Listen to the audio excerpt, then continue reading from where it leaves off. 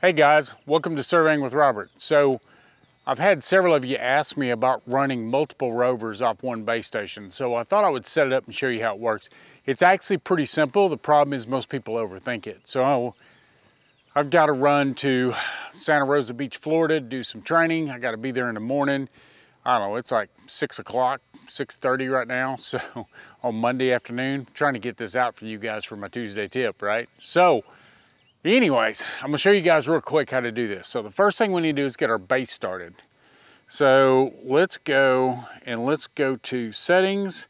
Let's go to survey styles and I'm gonna go to RTK. I'm gonna go to base options and we're gonna look. Okay, so first of all, I've got R12i, so let's make this an R12. Antenna height is gonna be two meters. We are going to use a lever extension for the R12. That's that black lever extensions up there. We're gonna make sure all of our satellites are turned on, okay? So, we're not worried about the serial number, station index, or any of that stuff right now. Station index though is 15. I could do a video just on station index. Let's say accept. Let's go to base data link. Okay, so I'm gonna go to radio, but I'm gonna go to receiver internal. Now, if you'll notice, when you go to receiver internal, down here at the bottom, it says connect. So I'm gonna hit the connect button. So what it's doing is it's connecting up to the radio, right? Okay, so it says I'm on fourth for frequency, I'm on 461 1000, Trim Talk version 1 at 8000 BPS. So what I need to do is make sure all these other radios are on the same frequency, on the same baud rate, and make sure everything is broadcasting CMRX. That's the first thing to do. So okay, we know what that is. Accept, accept, store, get out of there. I'm going to go to measure. I'm going to say RTK. I'm going to say start base. let's say point number one, I'll do a key in. Uh, down here at the bottom, I'm gonna say here, we'll call it CP base. Okay. Um, boy, there is something wrong with my easting. Let me go see what I got going on here. Properties, Alabama East, State Plane. Well, I am not, oh, I'm in Alabama. No wonder. I'm supposed to be in Mississippi. Oh man, jacked that one up, didn't I? Let's go down here to Mississippi. Boy, oh boy, oh boy. Store, accept, open, here. Those coordinates look a whole lot better. I knew there's not supposed to be a negative number in front of Mississippi, right? Okay, CP base, everything looks good now. I'm gonna say enter, store, and my station index is 15. I'm gonna say start. Everything looks good. Okay, so now I've got my base started. Now here's the trick. You don't ever start the base again. Base is started, it's broadcasting. It's broadcasting lat long and ellipsoid height. So now what we need to do, I've got my rovers set up over there. We're gonna go over there to the rovers and we're gonna set them up to catch the broadcast coming from this, right? Okay, so um, 461 1000, 8000 baud rate, is that what we remember? Okay, so let's go over there and let's, let's get this set up.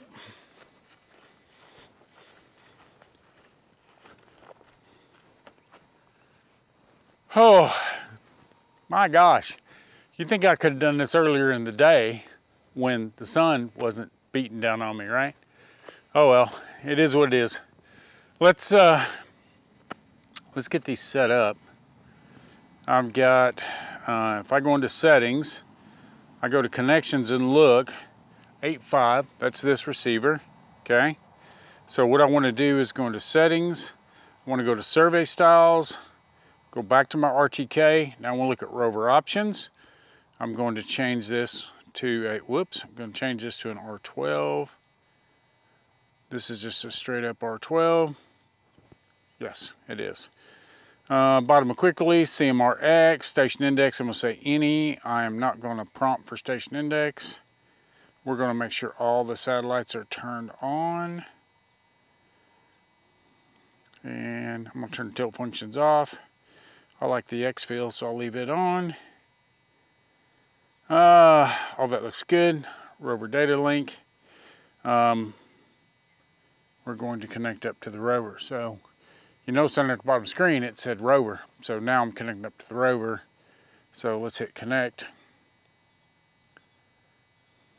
Okay, 461 1000, 8000 baud rate. So that matches my base station, okay? So let's say accept, accept, escape, no, sorry, sore, oops. Didn't change anything, but anyways. Um, let's go to measure, RTK, measure points. Okay, showing we have radio and everything is working. Okay, there we go. So I started my base, now I've started my rover. Now I'm gonna step over to the other rover and I'm gonna start it.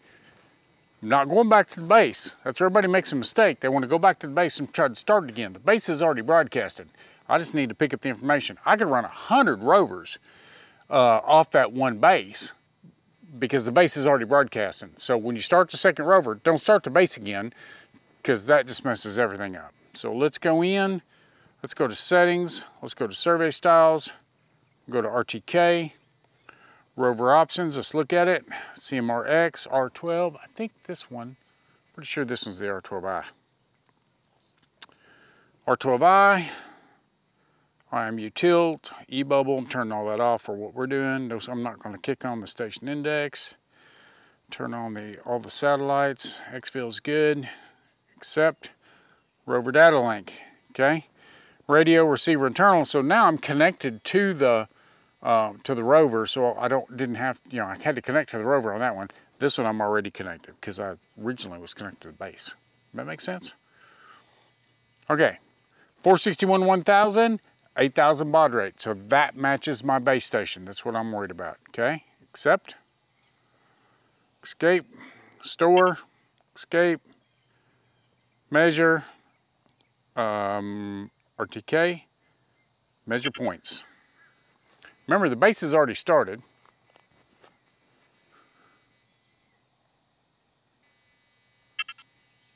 And there we go. So I'm ready to start surveying. So I am running both these rovers off that base station. The key to it is, is not to restart your base. I see so many people make that mistake. Your base is already running. There's no need to restart your base. It's already broadcasting. All your base does is it broadcasts latitude, longitude, and ellipsoid height. That's coming to the data collector. Once it hits the data collector, then whatever you've got set up in a projection, it will convert and create a coordinate, right? So there's no coordinate coming off of that point. Latitude, longitude, and ellipsoid height. What's that point based on?